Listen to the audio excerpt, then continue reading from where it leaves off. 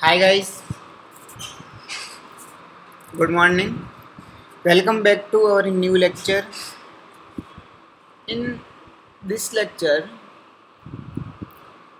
we will discuss about operator.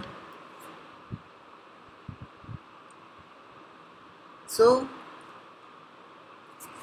first thing we can say that uh, what is the operator? Operator means uh, we can uh, perform some of the action. We can operate some of the results. Now in Swift mainly three type operator. Mainly we can say that operator if we want to uh, addition of the two number we need to use the as a plus operator. If we want to multiplication of the two numbers we need to use one multiplication operator this type of operator is Swift mainly in the divide into three category. First is the unary binary and ternary. As the name implies unary means we can say that create a single target unary as same as name implies we can create a single target mainly and mainly used for the perform a single target like as a minus a not a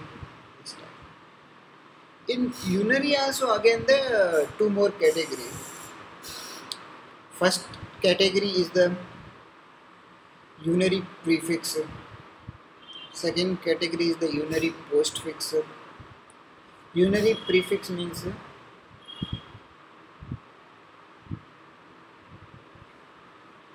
operator appear before uh, uh, we can say that uh, our target.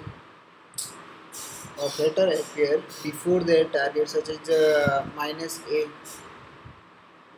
according to name unary postfix operator appear immediately appear not directly immediately appear after their target. Target means the a minus hand on operator appear just after their target immediate after their target we can say that's it. Now we are moving on the second binary operator. Binary operator as the name implies is a two target. Unary means one target binary means as the same as name implies two target. A plus b. And their operator we apply in between the both the target first target then operator then second target. Same as the ternary operator. Ternary operator means uh, you can say that as a conditional of operator we can say that same like as a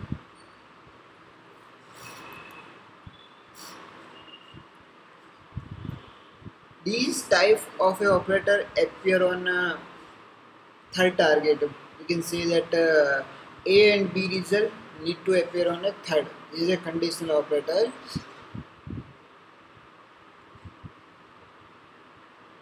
In Swift have only and only one ternary operator is the conditional operator. A and b result. A and b two target. And the result on the third target. Now we are moving on our basic operator. One by one operator we are moving next lecture we will discuss about the one by one operator uh, so plus minus all are the different different category